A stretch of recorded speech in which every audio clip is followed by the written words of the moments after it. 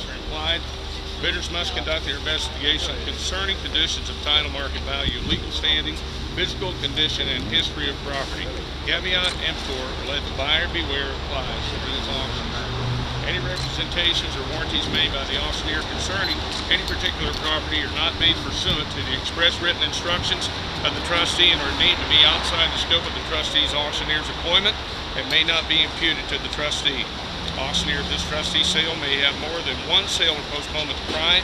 The crying of all other sales and postponements will be deemed to be commenced at the time the trustee's auctioneer cries the first sale or postponement of a group of one or more sales and postponements scheduled to be conducted at the same time. Bidders believed to be colluding to limit competitive bidding may be reported to the appropriate authorities and or may be disqualified from bidding. Once qualification of the bidders is closed and the bidding has begun, trustee reserves the right to refuse to reopen the qualification process to accommodate any late applications for qualification to bid. All bids are irrevocable. Qualify as a bidder at a trustee sale, the prospective bidder, unless already qualified by the trustee, must be in attendance and must provide the auctioneer with the following. Number one, bidder's name, address, telephone number. Number two, the maximum amount the bidder may contemplate bidding at the sale. This amount must exceed the initial minimum bid. And number three, conclusive evidence the bidder possesses funds in the amount no less than the actual amount the bidder intends to bid on the sale. The auctioneer will allow bidder only to bid up to the amount of funds the bidder is proven to have in his or her possession.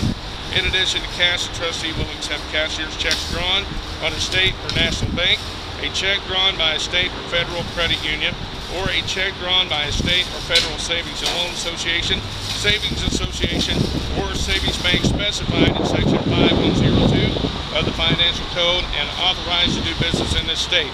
Checks must be made payable to the order of auction.com LLC or to the order of the bidder's name. All third parties tendering funds in the form of cash must comply with the IRS reporting requirements. Publication 1544. For more information, see www.irs.gov.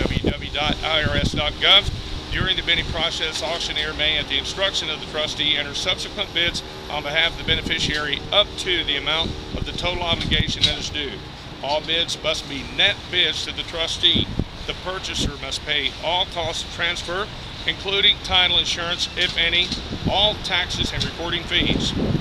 During the period between the sale and trustee's issuance of trustee's deed, bids accepted by the trustee cannot be withdrawn or canceled. The announcing of the postponements, followed by any cancellations, will begin in about 15 minutes. Please note that all postponements are listed on the website at www.auction.com and also noted on the board.